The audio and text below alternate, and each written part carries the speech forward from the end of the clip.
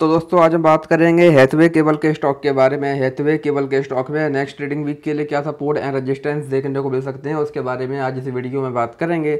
हम अगर यहाँ पर स्टॉक की बात करें तो हम देखेंगे जो ये स्टॉक है, ये हमको पहले यहाँ पर लगातार के लिए डाउन ट्रेंड में देखने को मिल रहा था। पहले हमको स्टॉक में लोअर लो लोअर हाई वाला पैटर्न यहाँ पर देखने को मिल रहा था। लेकिन फिर स्टॉक ने यहाँ पर सपोर्ट लिया, जिसके बाद से अभी अगेन हमको स्टॉक में रिकवरी देखने को मिल रही है। आज भी हमको स्टॉक में zero point four nine percent की यहाँ पर तेज़ी देखने को मिली है। तो यहाँ से अभी हम स्टॉक में बात करें, अगर यहाँ से स्टॉक में ये तेज़ी कंटिन्यू रहती है तो यहाँ से अभी और तेज़ी की कंडीशन में। हमारे पास यहाँ पर स्टॉक में twenty three point five three का पहला यहाँ पर रजिस्टेंस देखने को मिलेगा, अगर स्टॉक इसको ब्रेक करता है दैन यहाँ से हमको स्टॉक में अगेन एक बड़ी तेज़ी।